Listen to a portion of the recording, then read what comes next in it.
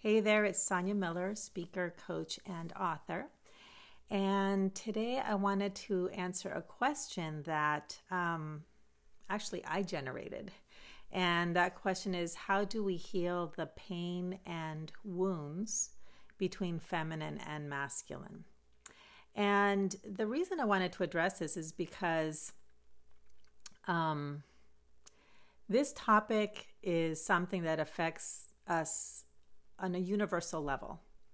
Everything from our own sense of self to our relationships among all genders to the friendships and families that we want to experience, um, to our workplaces, and to what we can see playing out on on a political stage, on a on a on a global stage. Um, the pain and the wounds between uh, masculine and feminine among all genders. And um, whenever I talk about this, it's always really important to me to make sure that I communicate that I'm not talking about gender. This is this goes way beyond men and women. It goes way beyond gender and it goes way beyond sexuality. Um, and it affects us, as I said, in, in deep and far reaching ways. So, um, if you've been in my orbit for a while, you know that when I'm teaching, when I'm offering solutions uh, and solutions that are not just these like ideas, but things that are very practical and, and apply to your life, I always root us in this um, fundamental presupposition, which is consciousness creates your reality. Consciousness is the cause of every effect. And so, what happens a lot of times is when we're looking for solutions to our problems, we tend to look outside of ourselves. We ask questions about how to, how to, or we look for answers in books. And um, what tends to happen is we're often caught in a not most productive cycle that has us address the symptom and not the problem. And for me, the solutions always begin in consciousness. So, what I thought I would be more effective than me just teaching a principle is to actually share a little bit about my own story. Okay, so um, my parents are immigrants from Argentina, and I'm a first generation American. And all of us are to some degree products of our environment. We're a combination of our nature, how we're wired, and nurture, which is or lack thereof, which is the environment in which we grow and and the things that influence us, whether it's our immediate family, our communities, uh, the time in history. So um, I'm a uh, first generation American, and um, I was also raised during the second wave of the women's movement, and um, as a as a first generation American uh, young girl growing up at this time in history. Um, I was also growing up as a Western, as a Western woman, or as a Western girl becoming a woman. And my um, father, um, I was the firstborn, and my father was the, uh, I would dare say, in many ways, the dominant parent in my in my world. Um, we had an intact family. Um, but I've often said that I was raised as the eldest male, and I got the message growing up you can do anything you want. You can be and do anything you want. Now, my mother um, was a woman who grew up in the 30s, 40s, and 50s, and um, she was also Latina, so there's that cultural influence. And um, she was always in my life and in my home. But as far as uh, having a a presence of power, I didn't really perceive that. I really perceived power through uh, what I could do, what I could accomplish, and I got a lot of rewards for that. And again, the part of it was the message from my dad, and part of it was the message from my time the, of uh, the, the, feminist movement in the 60s. Um, and so I pursued achievement and, and uh, got lots of positive feedback for it. I ended up being uh, 24 years old, um, trading stocks and bonds at a brokerage firm. I became an assistant vice president uh, very early. Um, and while I was really um, proud of myself and accomplishing a lot and achieving a lot, what I found was the more that I achieved, the more contrast I perceived in how much that achievement was not providing me with a sense of fulfillment. So I often say that success does not does not equal fulfillment necessarily. And yet we pursue success. So after 5 years in the brokerage firm, I uh, just really acknowledged that I felt like I was dying a spiritual death. And I left and I moved across country.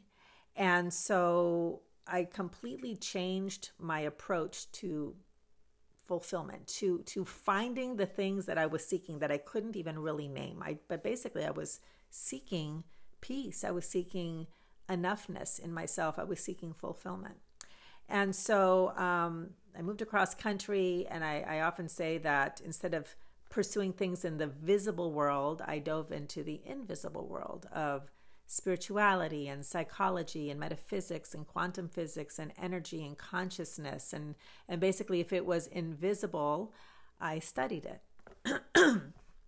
And so as i did um, i also found an organization that taught the distinctions between masculine and feminine energy and uh, i embarked on this uh, this women's weekend an empowerment weekend and the woman who introduced me to it said you know, in this uh, weekend, you're going to learn about your power as a woman. And I remember having this thought, which was, my power as a woman, what's that? Like, my power as a person, I know, but my power as a woman, I had no sense of um, other expressions of power other than all that I was doing. And I felt really, really powerful. Like, if I had a goal, I pursued it and I got it, right?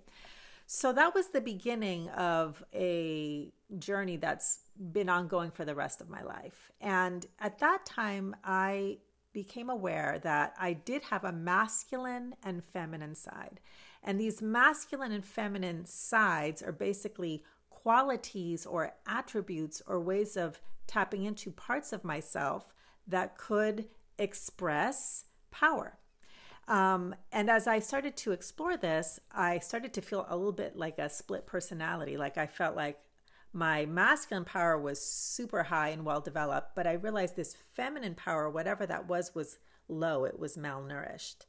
And so what I discovered was I didn't have to throw the baby out with the bathwater. I didn't have to throw away the masculine power. That's important and, and valuable and it served me well. Um, so it wasn't about doing anything with the masculine, but it was about nourishing and raising the feminine so that it was equal. And um, and then once it was equal, I felt even more split because I felt like I had two Sonias inside of me. So then it was like, how do I integrate it? Um, and and with that, I started to realize, oh, basically, I have this whole aspect of myself that that really makes amazing things happen. But it's not through pursuing or acting or thinking. It has to do with my beingness. It's who I be, it's what I experience, it's what I feel, it's openness, it's receiving. And the the things that started to open up in my world and my capacity to express my power in in more effective ways started to really open up. So, um, the most recent awareness that I had was when I started to see at a new level professionally, um, but also in my personal relationships, that I had kind of defaulted back to this masculine model of power. I was analyzing and I was I was taking action, and I caught myself saying, "Sonia, just stop. Just stop the overfunctioning. Stop the overfunctioning. Stop the overfunctioning. You know that that that can only get you so far. And I heard a little voice that said, "Okay, Sonia, stopping overfunctioning, stopping relying on the masculine model isn't the same as tapping into the feminine.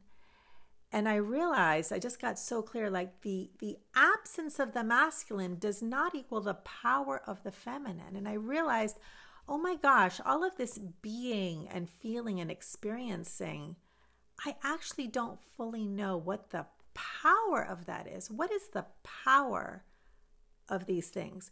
And what I realize that happens to many of us who have sort of been rewarded and indoctrinated and and uh, really reinforce like the power of the masculine model which again is essential but it's not everything. Um, what happens is here's the masculine that we know well. Here's the feminine that many of us don't know well. And instead of really knowing the power of the feminine we can and and embodying it and seeing it and experiencing and expressing it the best we can do is look at it from the masculine. So instead of like, oh, being and feeling and experiencing, I know the power of that. I and I draw upon it at will as needed. It's like, okay, uh, I don't know, so but I know that this isn't working, so I'm just going to stop doing the the masculine. But then what happens is we look, the masculine looks at the feminine through the masculine lens. And all of a sudden, being, feeling, and experiencing, and opening and receiving, the best we can do is see that as weak, passive, lazy, unmotivated. So we're stopping the masculine, but we're not really owning the feminine. So I asked myself, it's like, what is the value and the power of the feminine? And maybe some of you listening it's like, yeah, I already know this, but I didn't. I couldn't touch it. So I simply rested in that question and and my willingness mantra, which I think some of you know I'm really big about, my willingness mantra was I am willing to know the value, the power of the feminine. I'm willing to I'm willing to know it. I'm willing to embody it. I'm willing to experience it. I'm willing to express it. And in a very short amount of time, I got the image of the flower. And I realized that the flower is this incredible metaphor for feminine power. Here's this delicate, beautiful being, and it simply is planted in the earth. And it receives, manifests in a feminine way everything that it needs, and I'm going to dare say, and probably much of what it wants. It doesn't hunt anything. It doesn't examine anything, it doesn't pursue anything. It simply is. And simply by being, being beauty, being, being, not even, you don't have to be beauty, just be. It's just being what it is. Everything comes to it. The sun, the, the, the sunshine, the, the atmosphere, the earth, the water. And not only does it just receive it, it receives the things that are being discarded and transmutes it into beauty. So the sun offers the release of its gaseous, whatever the sun does, solar flares and the UVB. It, it, it does, it, it takes it and photosynthesis happens. Okay. It takes the earth, which is the fertilized by the, the manure of, of animals.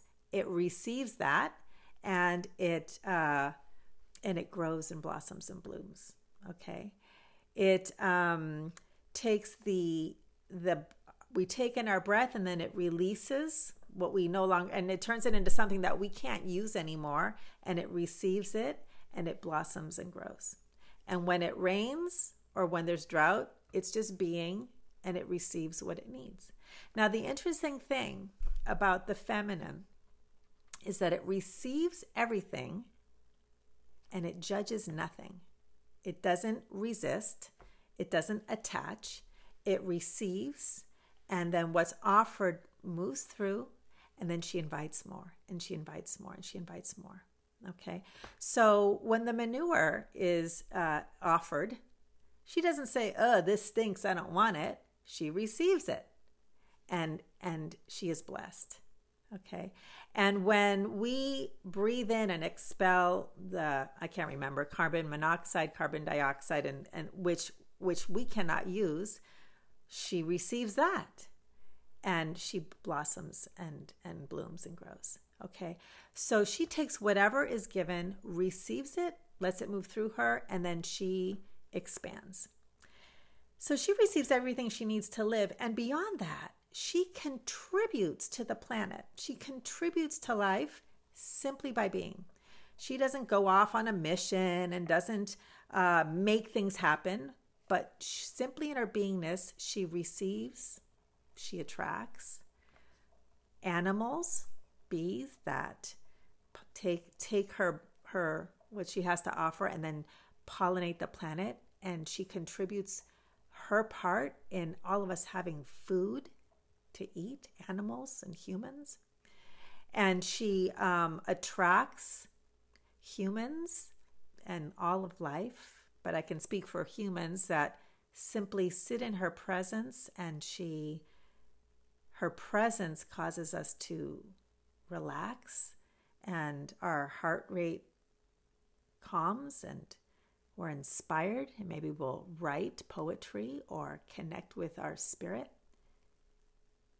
She is beingness, she is presence.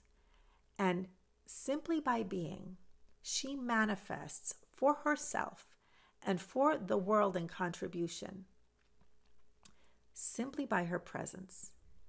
Her manifestations, the, the power of the feminine model, manifests through revealing.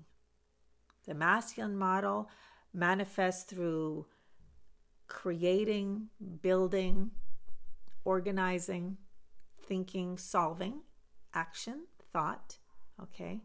Essential and beautiful. Um, the feminine, so it, it takes the outer world and does stuff with it, and the feminine manifests through it just revealed, receiving and revealing, receiving and revealing. So, um, wow, I got off on a tangent, but back to the original question how do we heal the wounds and the pain between feminine and masculine energy? Back to consciousness creates, we begin by healing it within us first. And that means notice when you're judging anything about yourself. And if you have the awareness of, oh, I'm judging feminine, because somebody told me that um, inaction is weak or unmotivated or lazy. Look at those judgments and be willing to suspend them and say, you know what? This inaction isn't good. It isn't bad. It simply is. Practice suspending judgment, first noticing them and then letting your awareness simply be. And then you can follow it up with willingness. I am willing to see the value in all expressions of beingness, in all expressions of power. I'm willing to discover and value all expressions of power because the truth is this you cannot value all expressions of power, masculine and feminine, until you become aware of where you devalue expressions of either.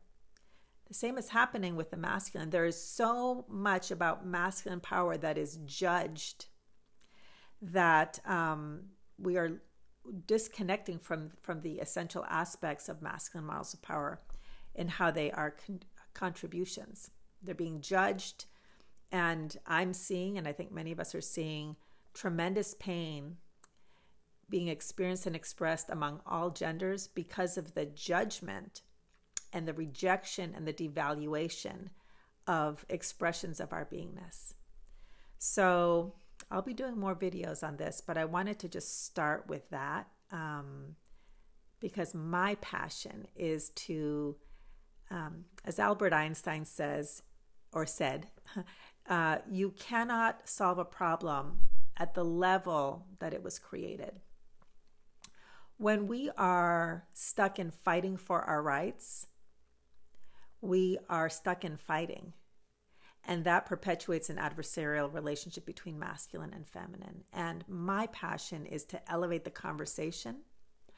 And what that requires is let's get beyond the fighting for our individual expressions and let's see if we can be willing to value all expressions. And through that, synergy can happen. And I define synergy as where the whole is greater than the sum of its parts.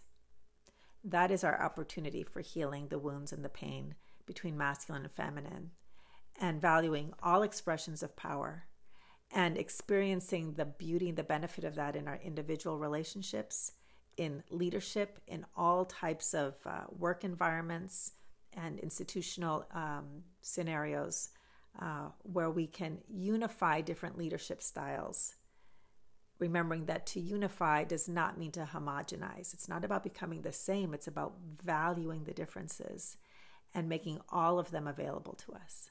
So, thanks for listening. I hope this was useful to you. And if it was, please like and share. It helps me reach the people that I'm here to serve. And if you'd like more information, uh, simply go to successforthesoul.com. Thanks and have a great day. Bye.